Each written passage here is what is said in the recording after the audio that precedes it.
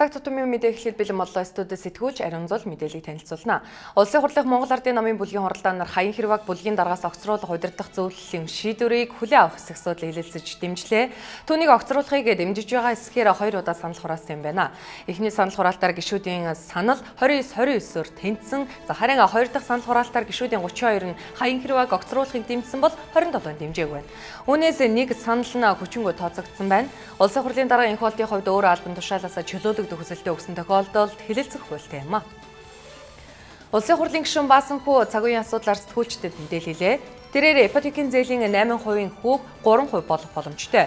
Энэ асуудлаар хуулийн төсөл наачилж улсын хурл өргөмөрнө. Банк бол ипотекийн зээл өгдөг гэж хүмүүс ойлгодог. Бизнесийн зээл 20% байгаа. Судалгаагаар бизнесийн зээлийг багасгах боломжтой гэж гарсан. Манад ипотекийн зээлийг 5 жил төлөөд үндсэн зээл нь буурахгүй байгаа. 8% гэж байгаа боловч 20 жилээр тооцвол 160% хүүтэй болж байна. За гадныхан ипотекийн зээлийн хүүг 1% хүүтэй олгодог. Мөн өнөөдөр эргэн төлөлтийн мөнгө 40%тэй. Их усүр нь бүрдсэн. За үүнийг дахин эргэлтэнд оруулахад хүү бууруулах боломж байна.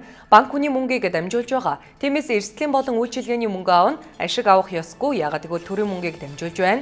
Төр бол 1% хүүд өгөх ёстой. Мөн сангуудын мөнгүүдийг орон сууцчлахад за мөн орон сууцчлахад оруулалтаа багасгах нь за 1000 яндан бариад утаа багасгахгүй. Жилд 3000 гаруй иргэн ипотекийн зээлд хамрагддаг юм. Урьдчилгаанд 30%-ийг төлж байгаа нь ч өндөр. Иргэдийнхээ авч байгаа цалин мөнгийг тооцсон ч ипотекийн зээлийг шийдэх боломжтой. Өнөөдөр зах зээл дээр 80 мянган орон сууц байгаа. Учир за хөөзөрсөн үн гарахгүй хэмээн мэдээллээ.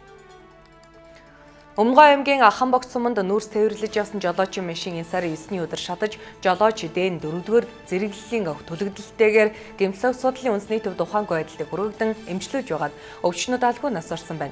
Хэргийг тодруулбал жолооч дээн 11-р сарын 8-ны 9 цаг 50 минутад Эрдэнэс 5 толгойн урхаагаас тендерээр нүүрс тээвэрлдэг Омог цагаан шохор компани автомашиныг жолоодан гарч за маргааш нь түүний жолоодож явсан машин шатаж түлэгдсэн байна.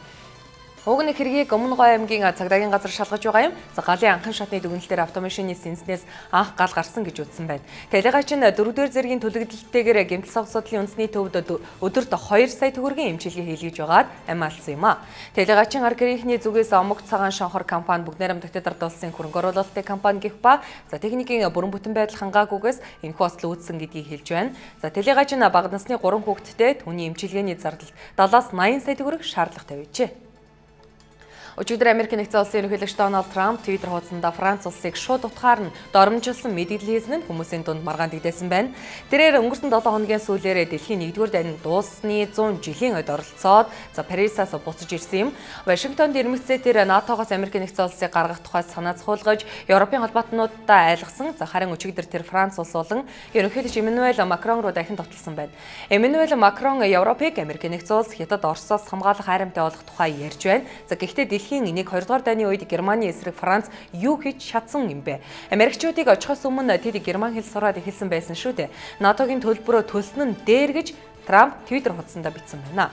Дараа нь тэрэ дахин бичихтэй асуудлыг голны Эммануэль Макроны рейтинг Францад маш бага 26% байгаа бол ажилгүйдлийн түвш нь бараг 10% хүрээд байгаа. За тэр зүгээр л анхаарлыг өөр зүйлд хандуулахыг оролдож байна. Үнэн дээр Францаас илүү үндэслэх үзэлтэй улс орн байхгүй Тэд үгээрээ маш их баргадаг тэгхэн ч аргагүй гэсэн юм. Түүний энэ үгнээс харуул Трамп Макроны Парис хэлсэн үгэнд сэтгэл дундуур байгаа юм байна. Макрон ялтын хаалганы дэргэд болсон хүндэтгэлийн арга хэмжээний үеэр үг хэлэхдээ Трампын бодлогыг шүүмжиж эх оронч үзлээс уруухыг үндсэрхэг үзэлгэн хэмээн хэлж байла. Гэвч Трампын мэдээлэл олон хүний шүүмжилтэд тулгарсан байна. Тухайлбал Бельгийн ерөнхий сайд асан Гей Верховштадт түүнд хариу болгон бичгтээ Франц улс Америкийн хувьсгалыг санхүүжүүлж байсан. Францын мөнгөгүйгээр Америк нэгдсэн улс бий болохгүй байсныг Трамп мэддэг мэддэг бололтой. Тэр бүх хэл эрх чөлөөний хөшөөг нь хүртэл өгч байлаа гэсэн юм. Зарим хүмүүс Трампыг шөмжөллөө Макронд шууд хэлгүй Парисаас Вашингтонд буцаж ирснийхээ дараа сошиал сүлжээгээр тогтолж эхэлснийг нь буруутгаж байна. Америк нэгдсэн улсын дэд ерөнхийлөгч Майк Пенс Америк нэгдсэн улс болон Хятад улс аль аль нь маш хатуу байр суурьтай байгаа. Бид одоогийн байдлаар 250 тэрбум ам долларын бараан татвар ногдуулаад байгаа. Шаардлага гарвал энэ тоо 2 дахин өсөх болно. Бид Хятадын талын хариу үйлдэлийг хүлээж байна. Америк нэгдсэн улстай хүйтэн дан хийхгүй тулд Хятад улс байр суурьаа өөрчлөх хэрэгтэй хэмээн Вашингтон Пост-нд өгсөн ярилцлаганд хэлжээ.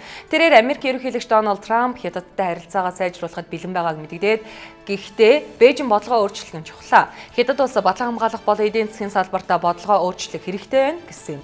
Түүнчлэн хоёр улсын харилцаа Аргентинд зохион байгуулагдах их хорийн эдээд хэмжээний уулзалтын үеэр болох Дональд Трамп, Ши Цзиньпин нарын уулзалтаас ихээхэн хамаарахыг анхаарууллаа.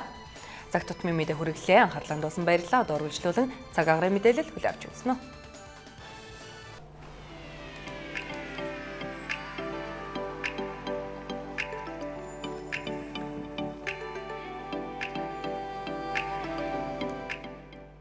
Цаг агарын мэдээтэй хамтран ажиллагч Төрийн банк. Эрсдэлгүй ирээдүйн баталгаа